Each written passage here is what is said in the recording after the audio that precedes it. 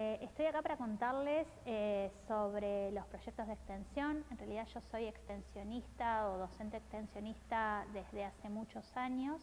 El último proyecto de extensión en el que estoy eh, como directora es El cuerpo que habito.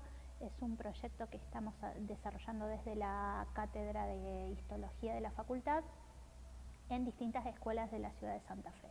Este proyecto nace a partir de la visualización de los docentes de nivel secundario de la disconformidad de los adolescentes eh, con su propio cuerpo. Entonces nosotros empezamos a pensar qué podíamos hacer eh, para generar eh, una conducta de aceptación del cuerpo que tienen los adolescentes más allá de los estándares culturales y sociales que hoy se imponen.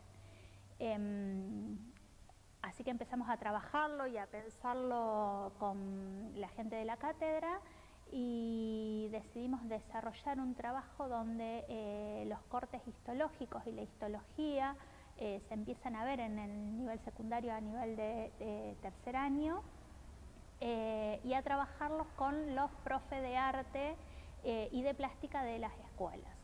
En función de eso los chicos tienen que interpretar los tejidos que ven a nivel microscópico eh, y plasmarlos en eh, gráficos y dibujos artísticos.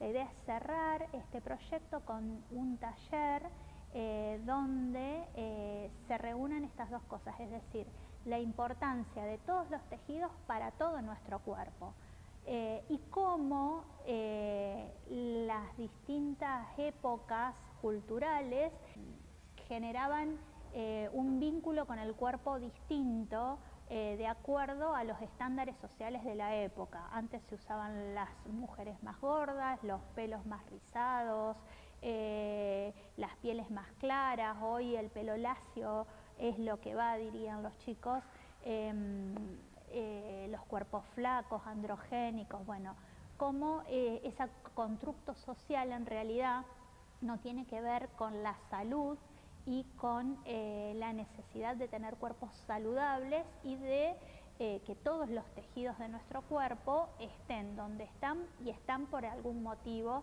cumpliendo una función.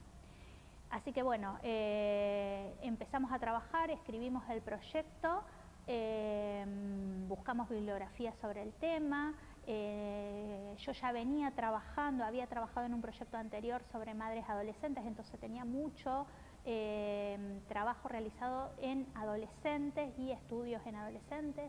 Nos tomamos de ahí, de los constructos sociales en adolescentes, para escribir este proyecto que está en marcha y termina en mayo del de 2022.